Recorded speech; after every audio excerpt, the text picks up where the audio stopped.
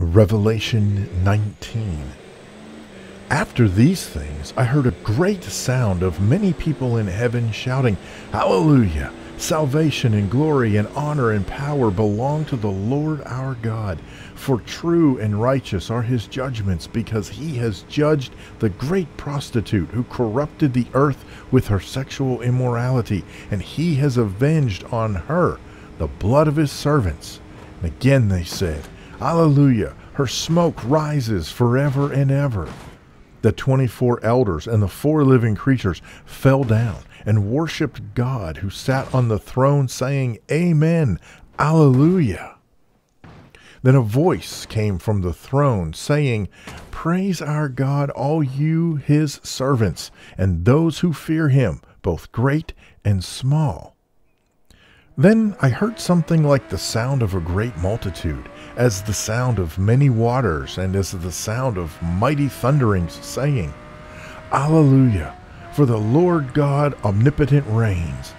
Let us be glad and rejoice and give him glory, for the marriage of the Lamb has come, and his wife has made herself ready. It was granted her be arrayed in fine linen, clean and white. Fine linen is the righteous deeds of the saints. Then he said to me, Write, Blessed are those who are invited to the marriage supper of the Lamb.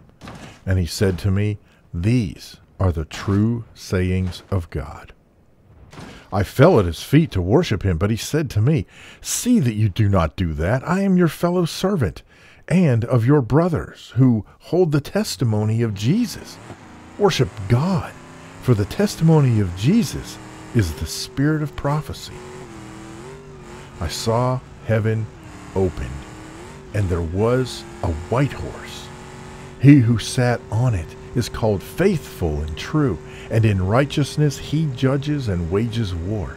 His eyes are like a flame of fire, and on his head are many crowns. He has a name written that no one knows but he himself. He is clothed with a robe dipped in blood. His name is called the Word of God.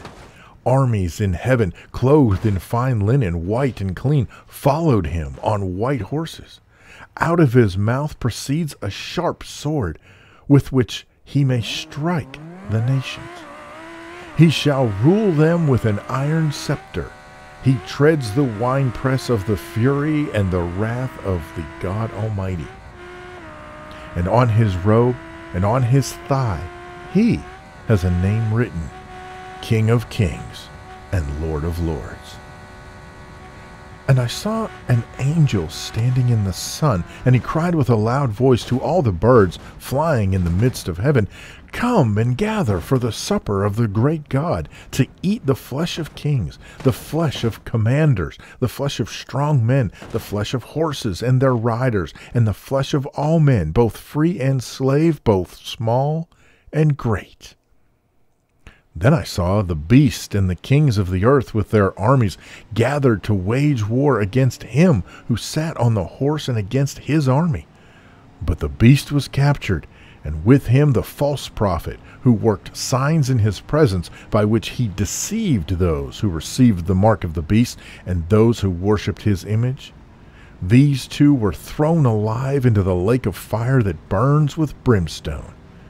The remnant were slain with the sword which proceeded out of the mouth of him who sat on the horse, and all the birds gorged themselves with their flesh.